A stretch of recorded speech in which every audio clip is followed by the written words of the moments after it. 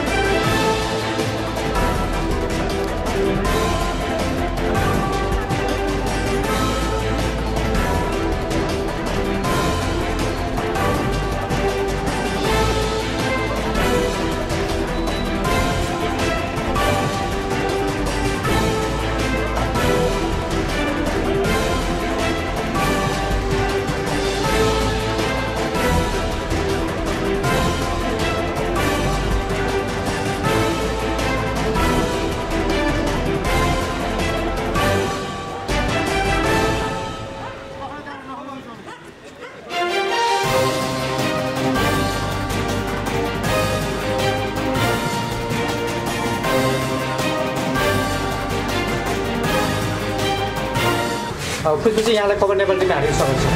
हजुर नमस्ते। आज तपाईँलाई टेकु प्रहरी परिसरमा देखियो? खास के हो खुसी अँ, मेरो अस्ति सोह्र गतेको घटनाको लागि आज जाहेरी दर्ता गर्दैछु। हजुर। जाहेरी दिनको लागि आएको छु। खास के हो खुसी खास यसमा चाहिँ आजको तपाईँको खास भएको चाहिँ के हो? अब मेरो त अब धेरै न्युजहरूमा आइसकेको छ। मैले यो कुरा भन्नु पर्दैन। र मलाई कुटपिट गरेर उहाँहरू फरार हुनुभएको थियो। जुन उहाँहरू आउनु भएन पटक पटक म तिन पटक त्यो प्रहरीमा आउँदा पनि त्यसले गर्दाखेरि आज म चाहिँ यो जाहेरी दर्ता गर्दैछु। अनि होइन कसले पिटेको? तपाईँले किटानी जाहेरी गर्नुभयो? किटानी म आज किटानी जाहेरी गर्दैछु। मैले छाडो निवेदन दिएको थिएँ। उहाँहरूलाई प्रहरीले पक्रेर ल्याउन सक्नु भएको थिएन नाम अँ, शर्मिला वाइबा ज्वाला सङ्ग्रौला मुना अधिकारी र हेमा श्रेष्ठ उनीहरूले चाहिँ तपाईँले आक्रमण गरेको? हजुर प्रहरी चौकीभित्र गौशाला प्रहरी चौकीभित्र उहाँहरूले मलाई आक्रमण गर्दा त्यहाँ गौशाला प्रहरी चौकीको डिएसपी साहब पनि मुख दर्शन हुनुभयो र त्यहाँ मै हजुर महिला प्रहरीले पनि मलाई धेरै दुर्व्यवहार गर्नुभएको छ अश्लील शब्दहरू प्रयोग गर्नुभएको छ। जस्तै यो त अब भोलि अदालतमा गयो भने इभिडेन्स चाहिन्छ त्यो इभिडेन्सहरू त हजुरसँग छ? एकदम सबै त्यो भिडियोहरू पनि छ। हजुर। भनेपछि अदालतमा गयो भने भोलि इभिडेन्स प्रमाणित गर्न हजुर, त्यही भएर म कानुनी लडाइँमा छु म न्याय प्राप्त गरेरै छोड्छु भन्ने सबै अगाडि बढिरहेको छु। बाँकी कुरा म पछि गर्छु। हुन्छ धन्यवाद। थ्याङ्क यू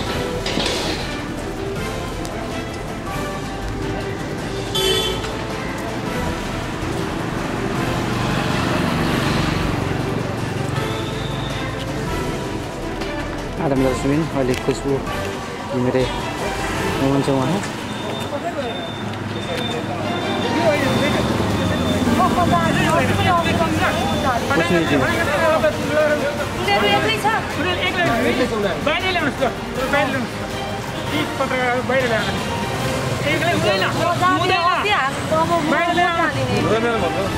हुँदैन बाहिर हटै गरेर हुलको चौकीमा हुलको अनि अहिले अहिले हामी पठाइदिनु पर्ने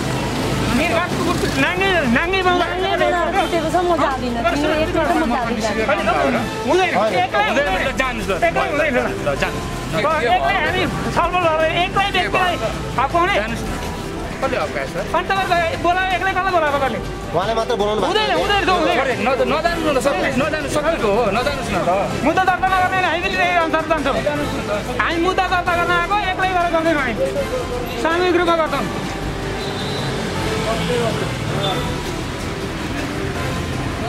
मुद्दा दर्ता गर्न आएको ठुलो कुरा मान्छे पिट्ने चौकीमा लगेर मान्छे पिट्दा चाहिँ आनन्द हेर रमिता हेर्ने अहिले अहिले एक्लै देश बिगार भाइ पठाइदिनु पर्ने को? सुरक्षाकर्मी हो कि अपराध गर्ने? अपराध जन्माउने देश होइन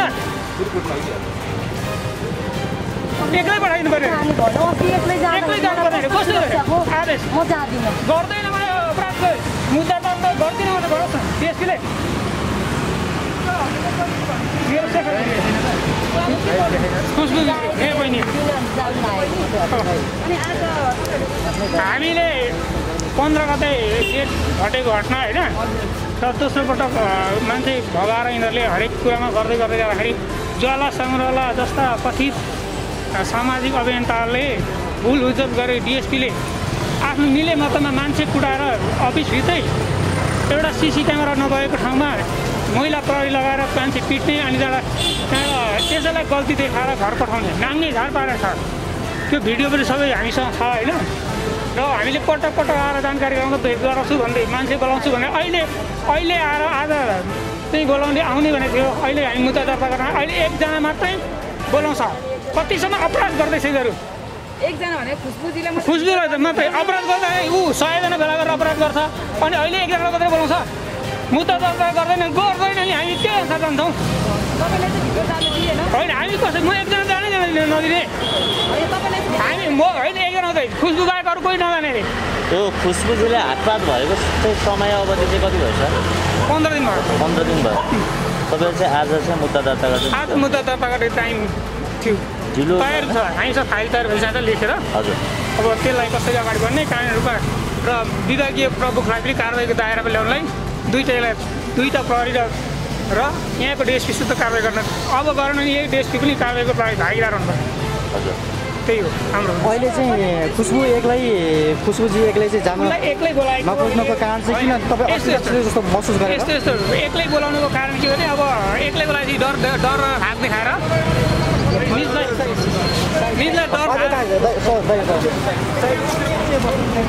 हजुर दाइ यता आउनुहोस् तपाईँ यता यता आउनुहोस् त यता यता ब्याकग्राउन्डमा आउनुहोस् न यतापट्टि यतापट्टि यता आउनुहोस् त तपाईँ यतापट्टि यो ब्यागमा यता आउनुहोस् सिधा अलि यता एक्लै बोलाएर होइन र हात पाउने अनि डर देखाएर तल पार्ने डिएसपीको हो उसलाई हिजोसम्म म आउँदा अघिसम्म मलाई दुई चारजना बस्दा हुन्छ भन्ने अहिले कुरा छिटो परिवर्तन हुन्छ भने कतिसम्म अपराध गर्दैछन् प्रहरीहरू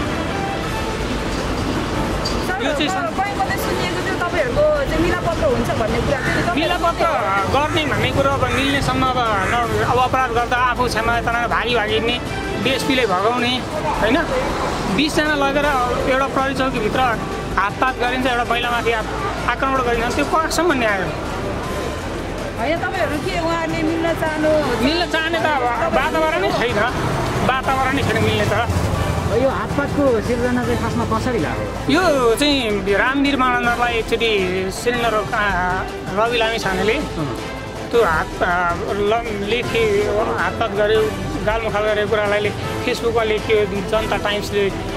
रवि लामी छानेको पर्दा उगार्यो भनेर एउटा लेख लेखेको छ। त्यो लेख हाम्रो बहिनीले चाहिँ त्यसमा कमेन्ट गरेर लेखेको छ पोस्ट गरेर छ। सामाजिक सञ्जाल उसले।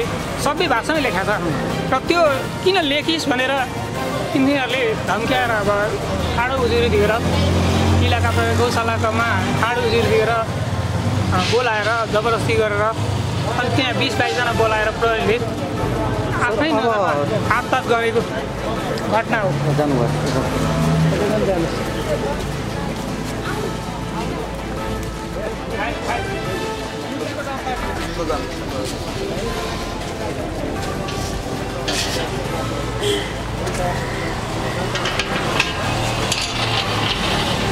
गाडी आयो हजुर अलिक साइड लगाइदिनुहोस् त क्यामेरा निकालिदिनुहोस् त हजुर गाडी आयो अहिले चाहिँ खुसबु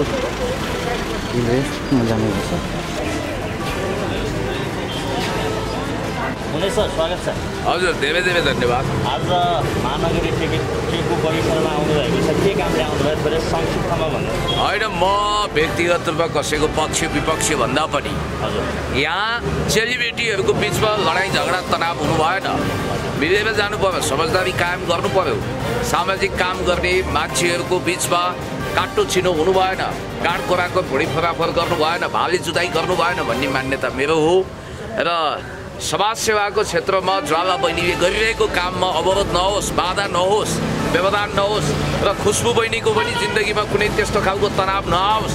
र दुई चेलीबेटी जो पहिला मिलेर काम गर्नुहुन्थ्यो साथी हुनुहुन्थ्यो होला आज यसरी झगडा गर्नु हुँदैन तनाव गर्नु हुँदैन भनेर म यहाँ आएको हो र ज्वालाजीले मलाई बोलाउनु भएको थियो र म आएको छु र होइन एउटा कुरो समझदारी गर्ने र दुई पक्षलाई मेलमिलाप जस्तो अस्ति नरनाथ गौतम र हाम्रो गजेन्द्र नेम्बाङको बिचमा पनि मैले सम्झौता गराएको थिएँ। कहीँ पनि कोही पनि थुनिनु राम्रो हुँदैन तनाव राम्रो होइन र यो एक महिनापछि झन्डै झन्डै घटना भएको बिस पच्चिस दिनपछि यो जो हुजुर बाजुरको प्रक्रिया भएको छ यो यसले राम्रो म्यासेज दिँदैन। मिलेर जानुपर्छ समझदारी कायम गर्नुपर्छ र ज्वाला बहिनीले पनि काम गर्ने यस्तो दुई पक्षले गरेका कमजोरीहरू स्वीकारेर हामी अबदेखि यस खालको व्यवहार गर्दैनौँ भनेर दुवै पक्षले समझदारी गर्दाखेरि राम्रै हुने आत्मालोचना गर्ने। चौकीमाथि चौकीभित्रै हातपात भयो हामीलाई हामी कहाँ समझदारी गर्ने पक्षमा छौँ भनेर लागिराख्नु भएको छ उहाँहरू त अब यस्तो त्यो कुरो त प्रमाणित गर्ने खालका प्रमाणहरू हुनु पर्यो त्यसको लागि। यदि त्यस्तो थियो भने उहाँहरूले यो केस दर्ता गर्न ढिलो गरिसक्नु हो किन गर्नु भएन त्यतिखेर भन्ने प्रश्न पनि आउला। एभिडेन्सका कुरा आउला। यो अदालती प्रक्रिया कानुनी प्रक्रिया हुनाले यस विषयमा मैले धेरै खुनकुत्र गर्न चाहिनँ तर मेरो इन्फर्मेसन अनुसार सायद मैले अब अलिकति सम्बन्धित निकाय मान्य भीमरावल कमरेडसँग कुरा गरेँ र एसएसपी साहबसँग पनि मेरो कुराकानी भएको छ। मेरो बुझाइअनुसार उहाँहरू मिलापत्र गर्नुहुन्छ। र समझदारी कायम हुन्छ। तपाईँले त छुट्याइदिनलाई कुरा गर्नुभयो होइन? ए बाबा झगडा हुनु भएन। दुवै पक्षको बिचमा समझदारी हुनु पर्यो मेलमिलाप हुनु पर्यो मिलेर जानु पर्यो आफ्ना शान्ति समझदारी कायम गरेर अगाडि बढ्ने एउटा मौका पाउनु पर्यो भन्ने मेरो भनाइ भनेपछि न्यायको लागि जुन अहिले प्रहरी चौकीभित्र जानुभएको छ त्यो चाहिँ व्य- व्यर्थ जान्छ त्यसो हुँदा। होइन इन्साफको पक्षमा सत्यको पक्षमा न्यायको पक्षमा पुण्य गौतमले कहिले पनि वकालत गर्न छाड्दैन। तर यति कुरा म तपाईँलाई भन्छु कि कसैले कसैलाई बदलाको भावना लिनु राम्रो होइन। अहिले थुनाइएला ल दुनियाँ थरी पावर प्रयोग गरेर के भएर कानुनी उपचार खोजेर कसैलाई चोटै लागेको भावनामा है फेरि बाहिरी चोट त मैले त्यस्तो के छ कसो छ मलाई त्यो थाहा भएन। त्यस्तो देखिएको छैन। तर भावनामा चोट लागेको छ भने नि भोलि प्रतिशोधमा नजाओस् के? एकले अर्कालाई थुनाउने फेरि रणाको मचाउने सामाजिक सञ्जाल तताउने सडक आन्दोलन गर्ने यो कोरोनाको बेला दुःख पाउने गरिब दुखी असहायको लागि काम गरौँ न मेलम्चीमा जाउँ न। आजै रफादफा गर्ने प- प्रयत्न गर्दै हुनुहुन्छ। रफा। दफा मैले गर्ने भन्दा पनि मेरो म्याक्सिमम् पहल के हो भने मलाई एसएसपी साहबले बोलाउनु पनि भएको थियो। म अलिकति ढिलो भइदिएँ। र मेरो भनाइ अहिले पनि के हो भने दुई पक्षको बिचमा म कसैको विपक्ष वा पक्षमा होइन सत्य न्याय इन्साफको पक्षमा छु। र दुई चेलीबेटीहरू मिल्नुपर्छ कमी कमजोरी भयो भने पनि त्यसलाई सच्याउनु पर्छ सबैले समझदारी गरेर जानुपर्छ भन्ने हो। एउटै खाटमा सुतेपछि लाठी त लागि नै हाल्छ त्यो स्वाभाविक अँ। कुरा भयो होइन? तपाईँले बुझ्नुभएको यो घटनामा तपाईँले बुझ्नु भएको चाहिँ कसरी चाहिँ यो घटना सुरु भयो झैझगडा कसरी सुरु भयो थोरै पृष्ठ होइन मलाई चाहिँ के लाग्छ भने यो तपाईँले भने बमोजिम यो व्यक्तिगत टसल र इगोले काम गरिरहेको छ र प्रतिशोधको भावनाले काम गरिरहेको छ। र यसमा समझदारी यही हुनेछ कि हृदयको विशालता अप्नाएर मिलेर जानु बहुत राम्रो हुन्छ। एकले अर्कालाई यस्तो कोरोनाको कहरको बिचमा थुनाउने आदि इत्यादि गर्नुभन्दा पनि मिलेर जानु एकदम राम्रो हुन्छ। राजनीति गर्ने मान्छेमा एउटा संस्कार हुन्छ। त्यो संस्कार के भने समन्वय गरेर जान्छ। मान्छेलाई मिलाएर जान्छ। मान्छेसँग समझदारी कायम गर्छ। भोलि मित्रता कायम गर्छ। र हामीले त दुश्मनको पङ्क्ति बढाउने होइन। मित्रको घेरा बढाउने हो नि त। त्यसकारण विशाल हृदय बोकेर म खुसबु बहिनीलाई पनि भन्न चाहन्छु। खुसबु घिमिरे बहिनी तपाईँले पनि समझदारी गर्नुहोस्। ज्वाला बहिनी तपाईँ पनि सम्झौतामा आउनुहोस्। होइन अहिले प्राविधिक रूपमा हामी नेकपा एमालेमा हौँला अब तर वैचारिक हिसाबले हामी अलिकति अलग ठाउँमा पनि हौँला वैचारिक हिसाबले अलिकति अलग हौँला तर ज्वालाजीसँग उहाँले गरेका कामहरूलाई निरन्तरता दिनुपर्छ भन्ने मेरो मान्यता हो। र त्यसको लागि अहिले जस्तो ज्वालाजीले मेलम्ची पीडितको लागि काम गरिरहनु भएको छ अन्य पीडितको लागि खुसबुजीले पनि समाजको लागि काम गर्ने इरादा र अठोट बोक्नु भएको छ भने अब यो तनावमा किन अल्झिने के? यसले बेकार एकअर्कामा मनोमालिन्य पैदा गर्छ झ्याउलो पैदा गर्छ दिनचर्या खलबलाउँछ। त्यस कारणले गर्दाखेरि हृदयको विशालता अप्नाएर दुवै पक्षले सम्झौ शान्ति कायम गर्दै कमजोरी गरेकाहरूले आएम सो सरी भन्ने र दुई पक्ष मिलेर जाने बाहेक विकल्पै देख्दैन। पनि थ्याङ्क यू सो मच र यसैको लागि म म्याक्सिमम् पहल गर्छु।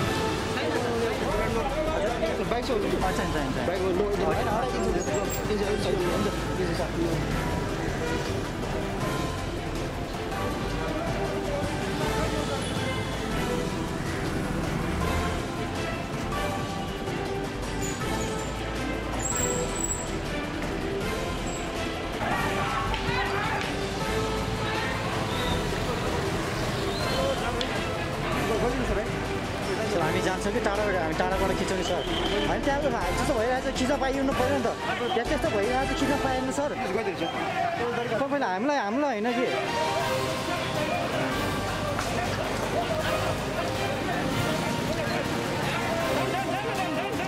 सर सर टच नगर्नु है सर टच नगर्नु है केही छैन होइन होइन हामीलाई त होइन नि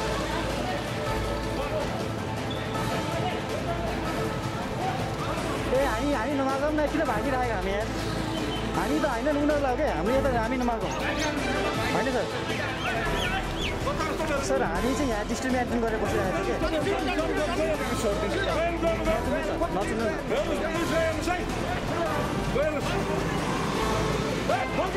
कि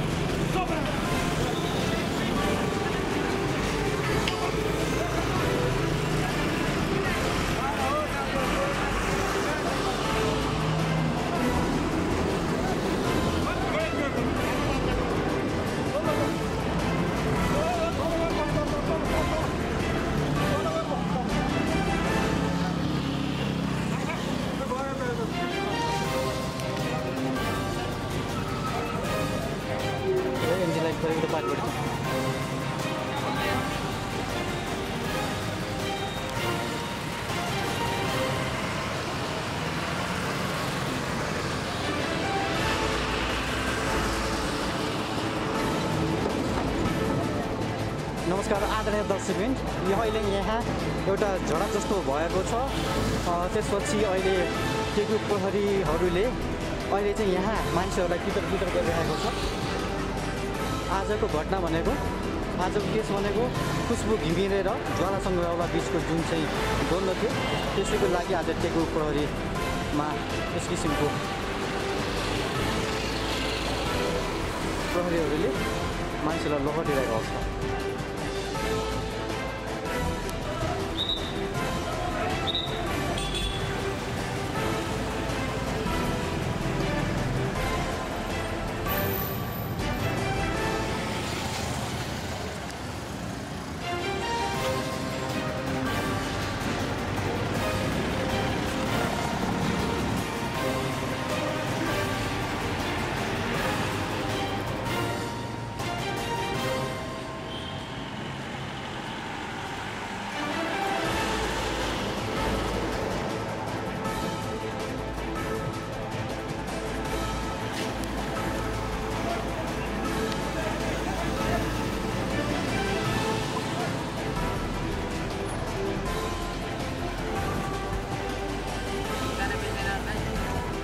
त्यो मिल्दैन होला खोइ थाहा भएन उता जाने भने जाऊ न तिमी ट्राफिकलाई सोधेर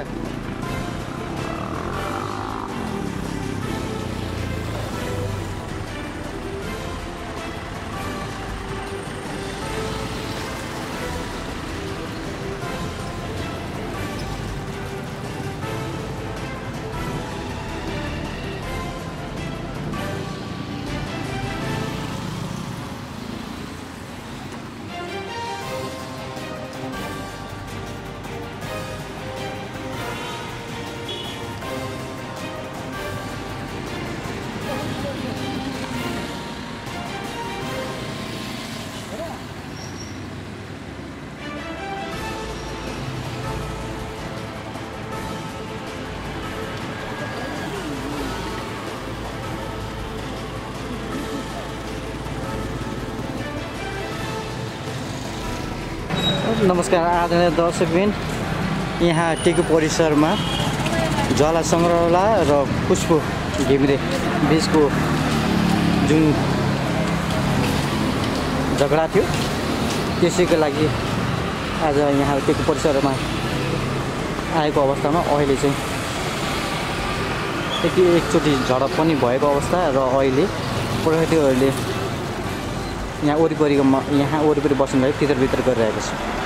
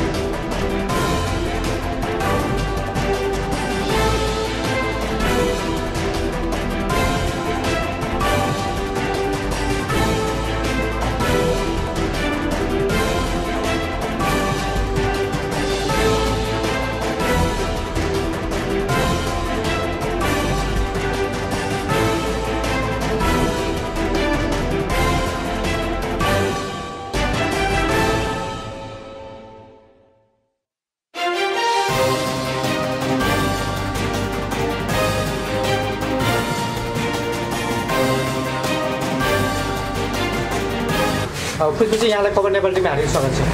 हजुर नमस्ते। आज तपाईँलाई टेकु प्रहरी परिसरमा देखियो? खास के हो खुसी मेरो अस्ति सोह्र गतेको घटनाको लागि आज जाहेरी दर्ता गर्दैछु। हजुर। जाहेरी दिनको लागि आएको छु। खास के हो खुसी खास यसमा चाहिँ आजको तपाईँको खास भएको चाहिँ के हो? अब मेरो त अब धेरै न्युजहरूमा आइसकेको छ। मैले यो कुरा भन्नु पर्दैन। र मलाई कुटपिट गरेर उहाँहरू फरार हुनुभएको थियो। जुन उहाँहरू आउनु भएन पटक पटक म तिन पटक टेकु प्रहरीमा आउँदा पनि त्यसले गर्दाखेरि आज म चाहिँ यो जाहेरी दर्ता गर्दैछु। अनि होइन कसले पिटेको? तपाईँले किटानी जाहेरी गर्नुभयो? किटानी म आज किटानी जाहेरी गर्दैछु। मैले ठाडो निवेदन दिएको थिएँ। उहाँहरूलाई प्रहरीले पक्रेर ल्याउन सक्नु भएको थिएन। त्यही भएर शर्मिला वाइबा ज्वाला सङ्ग्रौला मुना अधिकारी र हेमा श्रेष्ठ। उनीहरूले चाहिँ तपाईँले आक्रमण गरेको हजुर। प्रहरी चौकीभित्र गौशाला प्रहरी चौकीभित्र उहाँहरूले मलाई आक्रमण गर्दा त्यहाँ गौशाला प्रहरी चौकीको डिएसपी साहब पनि मुख दर्शन हुनुभयो। र त्यहाँ मै हजुर। महिला प्रहरीले पनि मलाई धेरै दुर्व्यवहार गर्नुभएको छ अश्लील शब्दहरू प्रयोग गर्नुभएको छ। जस्तै यो त अब भोलि अदालतमा गयो भने इभिडेन्स चाहिन्छन् त्यो इभिडेन्सहरू त हजुरसँग छ? एकदम सबै त्यो भिडियोहरू पनि छ? हजुर। भनेपछि अदालतमा गयो भने भोलि एभिडेन्स प्रमाणित गर्न हजुर, त्यही कारण तपाईँ त्यही चाहिँ भएर म कानुनी लडाइँमा छु म न्याय प्राप्त गरेरै छोड्छु भन्ने अगाडि बढिरहेको छु। बाँकी कुरा म पछि गर्छु। हुन्छ धन्यवाद। नमस्कार आदरणीय दर्शकबिन हामीसँग हुनुहुन्छ पुण्य गौतम पुण्यजी आज तपाईँलाई चाहिँ यहाँ महानगर प्रहरी परिषदमा देखियो। खास के हो कुरा? यहाँ समाज सेवाको क्षेत्रमा बोल्ड स्टेप चालिरहेकी हाम्री चेली ज्वाला सङ्ग्रौला जसको बारेमा उजुर बाजुर भएको रहेछ र उहाँ यहाँ आउनुभयो र उहाँले पुण्यदाय आइदिनुहोस् भनेको हुनाले। र केही असमझदारीभित्र छ जसमा मिलाउनु पर्ने छ र केही सम्झौताहरू गराउनु पर्ने छ भने ठिकै छ भनेर म यहाँ आएको हुँ र मेरो त्यसमा सख्त पहल रहनेछ को को हुनुहुन्छ अहिले यहाँ चाहिँ? त्यहाँ बहिनी ज्वाला सङ्ग्रौला बहिनी शर्मिला अनि उताको पक्षबाट खुसबु घिमिरे भन्ने बहिनी हुनुहुँदो रहेछ र दुई पक्षको बिचमा केही समय अगाडि मनोमालिन्य रहेछ। के सोसियल मिडियाको अझ हो? होला विभिन्न होला आफ्ना आन्तरिक मामिलाहरू होलान् तैपनि त्यो समाजसँग जोडियो र त्यसले एउटा विस्तृत रूप लिएको छ। र यसलाई हामीले सल्टाएन भने समाजसेवाको क्षेत्रमा ज्वालाजीले गरेका कदमहरू रोकियो भने समाजका भोका नाङ्गा निमुखा गरिबहरूलाई चोट लाग्नेछ र खुसबु बहिनीले पनि बदलाको भावमा जानु हुँदैन। उहाँको पोलिटिकल फ्युचर छ त्यसमा विचार गरेर मिलेर जानुपर्छ उदात्तता देखाउनुपर्छ विशाल हृदयभन्दा ठुलो कुरो केही पनि छैन। हस् पुण्यजी फेरि हामी एकछिनमा जोडिन्छौँ। हस् थ्याङ्क यू।